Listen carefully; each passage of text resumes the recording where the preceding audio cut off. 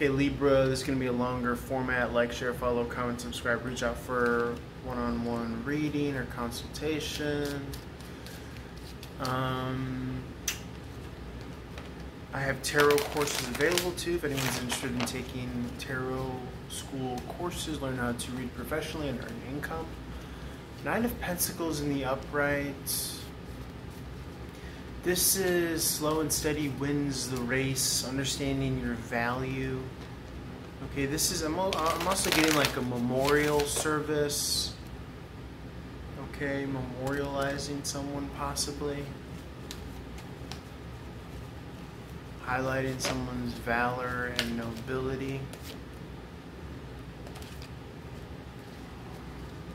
Okay, looking into the future be reminiscing about this person, dreaming about this person.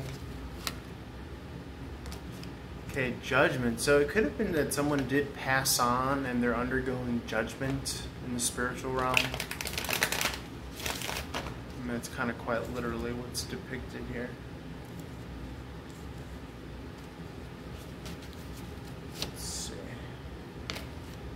Something's being illuminated here. Every time I see the King of Wands here. Could be finding that someone has a fair share of inheritance or money or value or worth here. Hmm. And then you have the Empress here. The Empress is Libra, your energy. Um, or it could be Taurus, but this could be someone that's pregnant with a child. This could also be metaphorical, but we could try to keep it literal as well. Rebirth energy. Rebirth energy makes me think that someone could have had a falling out or a miscarriage, and now they get another opportunity. Any reason as to why, in particular? Well, the King of Wands illuminating the Queen of Pentacles makes me feel like inheritance, but what's the connection? Is there a connection with the Empress here, Spirit?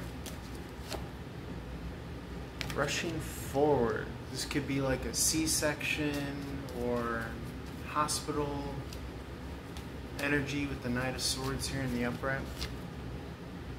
And then a celebration here.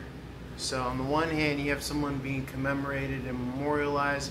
It's like a birth and uh, it's like a death and a birth, essentially, is what we're picking up on here. But then someone is celebrating birth here. Feels like everything's going to be healthy and happy, but it's just like these things are coinciding all at once, is how it comes across. All right, I'll leave it there. Let's roll on over to Scorpio and see if anything interesting wants to come up. Come up, Boys.